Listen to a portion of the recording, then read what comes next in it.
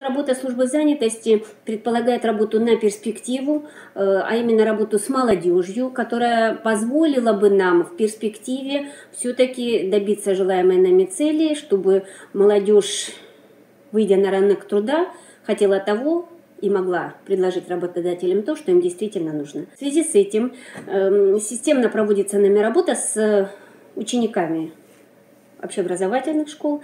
Э, кроме того, э, включаются в эту работу ученики лицеев, техникумов и вузов. Эта работа у нас велась всегда, но теперь мы ее немножечко делим на два блока, и это создание, скажем так, шкільного майданчику «Діти майбутнього», который позволит нам действительно на выходе из школы иметь э, молодого человека, знающего, чего он хочет от жизни, знающего, какую, какую профессию он хочет получить. Работа с молодежью, как я уже сказала, уже обучающихся в учебных заведениях. В этой связи начинает работу у нас молодежный клуб, который носит название «Step by Step», то есть шаг за шагом.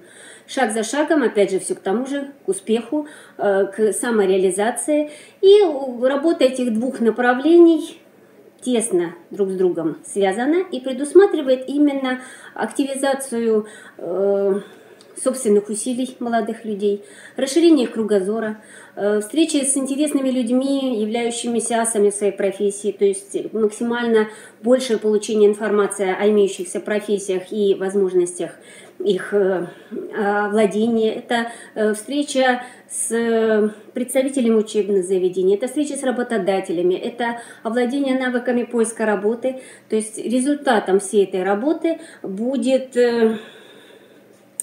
осознанный выбор молодежью своей будущей профессии, осознанный выбор своей профессиональной карьеры, умение знание своих сильных сторон, умение их презентовать работодателю, рассказать о них и владение современными технологиями самопрезентации. Это составление и использование видеорезюме, портфолио и все эти новые ну, владения навыками онлайн-спивбеседы. То есть все то, что вот сейчас получило свое развитие и что, возможно, что-то новое получит развитие в будущем.